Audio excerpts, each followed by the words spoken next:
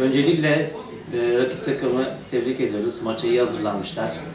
Yani bu sahada da belliydi. Geç 2'de 0 yaptık. Turnuvaya kötü başladık. Nedense yani kötü başladığın zaman hep kötü gidiyor. Yani psikolojik oyun herhalde bu. Bundan sonra yapacak bir şey yok zaten. Yani önümüzdeki maçı zaten alamazsak otomatikman eleniyoruz. Yani söylenecek de başka bir şey yok açıkçası. Yani moralimiz bozuk.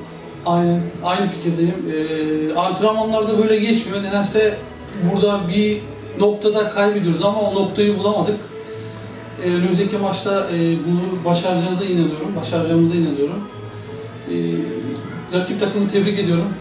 İyi oynadılar, biz de iyi oynadık ama bir noktada işte o noktayı bulamadık. Hafta içi iki antrenman yapıyoruz. O antrenmanda bunu değerlendirip önümüzdeki maçı almayı düşünüyoruz. Diyeceklerim bu kadar.